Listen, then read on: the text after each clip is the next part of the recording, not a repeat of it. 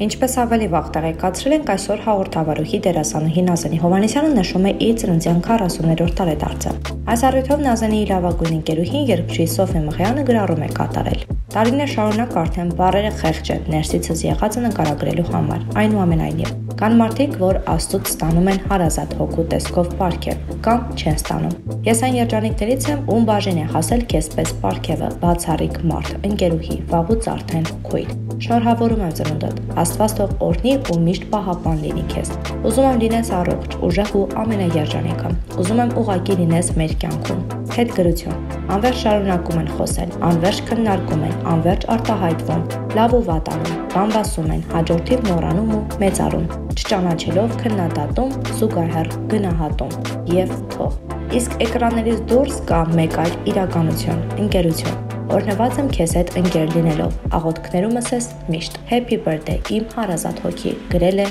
երկչուհին։ Բաժանորդագրվեք մեր ալիքին սեղ մեկ զանգակի վրա, որպիսի առաջինը դուք տեղեկացված լինեք վերջին եւ ամենաթեժ լուրերից։